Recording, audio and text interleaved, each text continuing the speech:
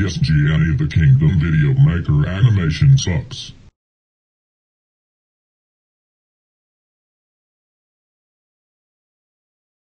No Gianni the Kingdom Video Maker animation sucks. He is the worst user ever for making bad videos out of Gianni the Kingdom Video Maker animation and other good users.